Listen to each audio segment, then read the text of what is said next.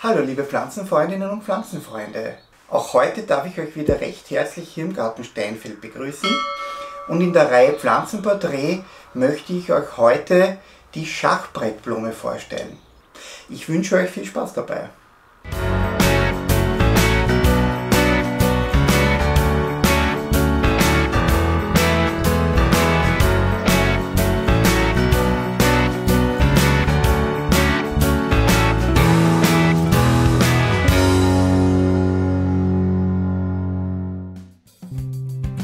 Ist eine ausdauernde krautige Pflanze, welche eine 1 bis 2 cm große Zwiebel mit relativ wenigen Zwiebelschuppen bildet.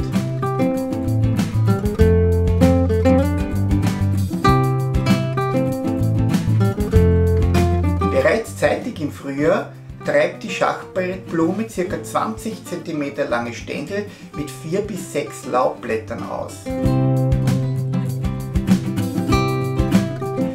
Blüten sind schachbrettartig purpurrot-weiß bis grünlich-weiß gefleckt. In Mitteleuropa dürfte die Schachbrettblume nicht ursprünglich sein. Ihr Vorkommen geht demnach auf Verwilderungen und auf Auspflanzungen zurück. Die Schachbrettblume ist eine Lichtpflanze, die nur relativ wenig Schatten verträgt.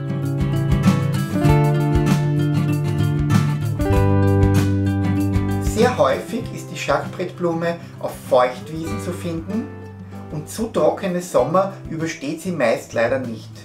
Im eigenen Garten wäre demnach eine Stelle am Teichrand bzw. in der Sumpfzone ideal.